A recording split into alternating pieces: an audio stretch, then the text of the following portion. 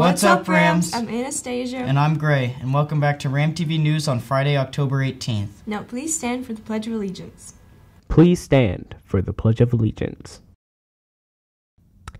I pledge allegiance to the flag of the United States of America and to the republic for which it stands, one nation, under God, indivisible, with liberty and justice for all. Homecoming dance forms are now available at our cashier window and at the front office on the wall by the main doors. We are only accepting students of another Tacoma Public High School or a Tacoma Private High School for our homecoming. The dance is on October 26th from 8 to 10 p.m. Cost is $10 for students with ASB, 15 if you don't have ASB, and all outside guests or students who buy tickets at the door it will be $20. If you're planning on bringing a guest from another school, the forms are due no later than 11:30 a.m. on Friday, October 18th. Mrs. Willard is in need of two liter plastic soda bottles. If you have some at home, help reduce waste and help your fellow students by bringing in plastic soda bottles to room 102.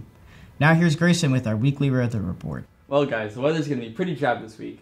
Finishing out the week and continuing into the weekend, there'll be highs in the low 50s and lows in the mid 40s. Friday, we'll start with clouds, but later in the day, rain will roll in and will persist until Sunday. Next week will be gloomy as well, with highs in the mid 50s and lows in the mid to high 40s. We'll see the rain continue on Monday, and Tuesday will follow suit. And now to Dorian with sports. Hey guys, my name is Dorian, and this is our weekly sports. The girls golf team placed second at league last week in a 36 hole tournament, and we'll be playing in districts this spring. Great job, ladies! Our Wilson football team will be playing tonight against Bonney Lake at 7. Admission is free with ASB and $6 without. Don't forget to be there and support your Rams. That's all we have for this week. Back to you, Grey and Anastasia.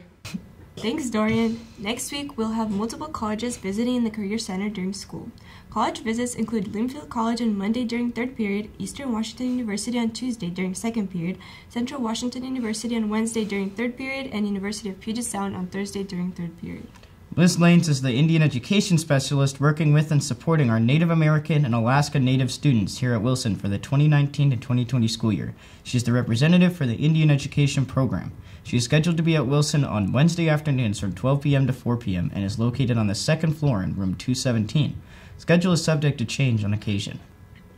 Speaking of colleges, Tacoma College Fair is coming up on Wednesday, October 30th from 5.30 to 7.30 p.m.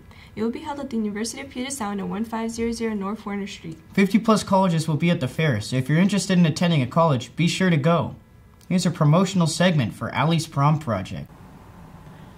My name is Allison Joseph, and I am the founder and director of Allie's Prom Project. At Allie's Prom Project, we provide personal styling appointments to high school students that are attending their formal dances. It's all free of charge um, for these students, so everyone will come in and get to choose from one of our about 1,500 dresses that we have in our inventory. Um, as well as hundreds of pairs of shoes um, and then everyone also gets to take one accessory with them as well. This project was started a few years ago um, with the inspiration of helping students that were in foster care originally. My husband and I have been foster parents for about 10 years and saw a great need for additional resources for um, teenagers that were in foster care that weren't getting um, the same amount of help that some of the younger kids would get with clothing and activities and things like that. Um, so started out with just a collection of a few dresses from friends and then from there grew into this. Um, so we're really excited to be in our new space here in Tacoma, right across the street from Tacoma Community College.